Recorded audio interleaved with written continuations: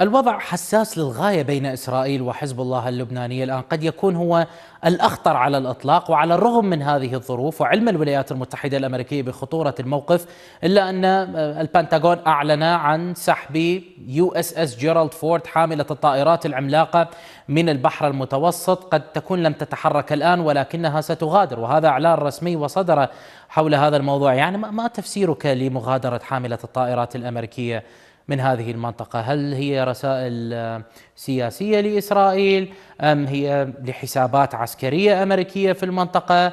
وألا ترى بأنها رسالة ضعف لحزب الله ولإيران في نفس الوقت؟ No, not at all. لا أبدا. أعتقد بأنه من المهم أن نفهم بأن هذه الحاملات يمكن أن تعمل لفترات زمنية محددة فقط آه، في وقت نشرها. وهذا كان فترة نشر طويل آه، هنا. فإذا آن الأوان لإعادتها إلى الميناء. آه، وقد أحلت من قبل الباتان ومجموعة حاملة أخرى.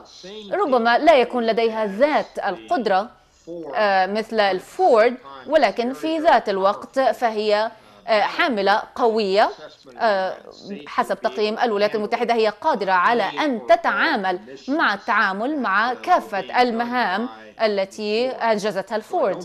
فإذا لا أعتقد بأن هناك رسائل سياسية ولا أعتقد بأن هناك رسائل استراتيجية حتى آه، لأنه إذا كان هناك قرار لمعاقبة حزب الله فهناك من القدرات الكافية من جانب البتان الأمريكية آه، وهذه المجموعات الهجومية لتتعامل مع أي تحديات يمكن أن تنفتق في المنطقة.